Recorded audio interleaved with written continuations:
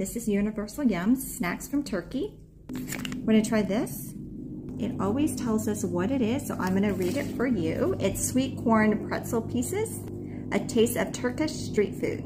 Freshly picked corn poached in milk with sugar, butter, and sometimes spices. Just open them up. This is what it looks like inside.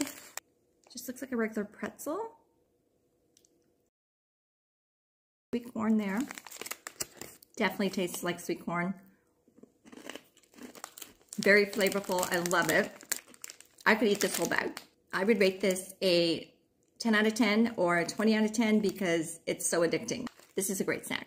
And I will be talking about it, reading about it, and letting you know what my thoughts are on the snacks. So see you tomorrow. Bye.